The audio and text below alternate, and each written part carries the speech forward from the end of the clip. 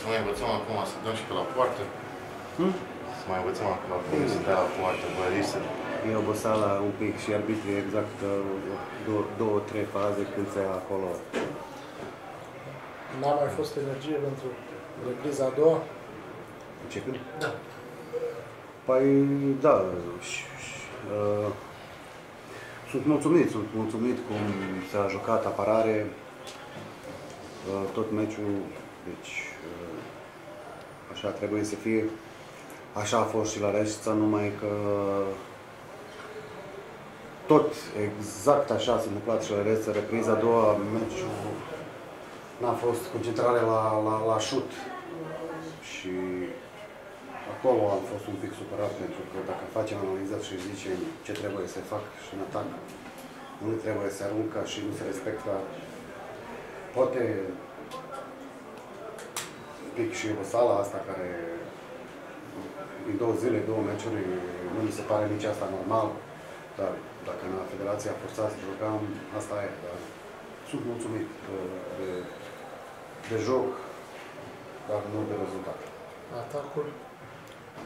Păi, a- așa cum am zis, am ratat prea mult uh, unul la unul și contra, prea multe contraatacuri și de la pivot și de la Inter, deci uh, am uh, aruncat tot ce am făcut prima repriză, singurii am aruncat, deci nu n-a fost uh, ceea Dinamo au făcut sau au schimbat, nu, noi singurii am pierdut meciul ăsta în atac pentru că uh, peste 20 de mingi am ratat unul la unul cu portar.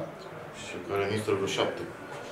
Da, și e, e greu să câștigi în momentul ăsta cea mai bună echipă în România.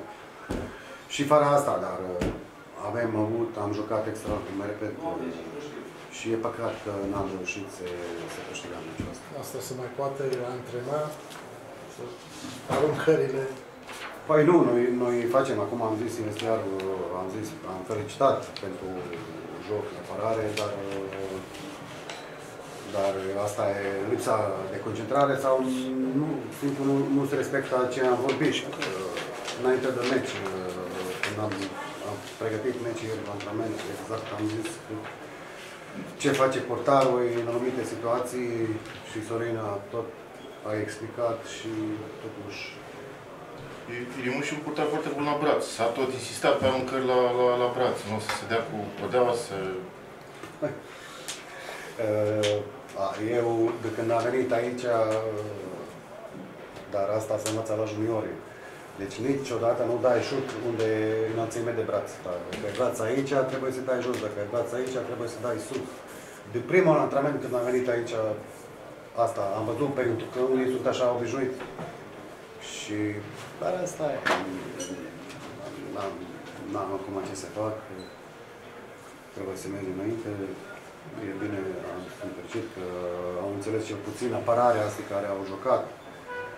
Uh, Șoldănescu și Iancu și Paul, cea mai mare parte dintre ei au jucat extraordinar apărare și merge asta e.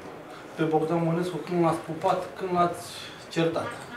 Păi Eu sunt așa, dacă, dacă pregătim meciul și dacă eu zic faci așa și dacă greșești, nu e nicio problemă. Și exact așa ce am zis și a făcut, am pupat, e normal. Dar dacă zicea mai ales la, la, la Interi uh, se dau fără frică sus, peste cap și nu semi-obține acolo unde eu nu mai și aparat, pentru că am văzut mai multe meciuri, Uh, E normal, acolo se rup meciul. Pralița două șuturi uh, Bogdan și Țuțu. Deci acolo de la 17-12 pentru noi au venit ei la 18-17 cu șuturi. Deci am, am făcut exact ce trebuie în atac până la ultimul Aruncare. șut. În acest moment mai poate să mai poate vorbi de triumf? Păi astăzi a pierdut și Călăraș și a pierdut și Baia Mare, deci uh, bine, s-a dus un pic uh, uh, Timișoara sus, dar depinde și de alte rezultate. Uh, E ce, ce mai greu. Acum am, avem la Odorhei, acolo dacă nu scotem un bun rezultat și cu CSM, atunci nu avem nicio șansă mai mult. Deci, uh, e foarte greu și la Odorhei, dar tot mergem acolo, se câștigăm. Avem acum mai mult timp să ne pregătim, pentru că iar trebuie să jocă sâmbătă și după imediat miercuri. Două meciuri în patru zile foarte grele și vedem. Și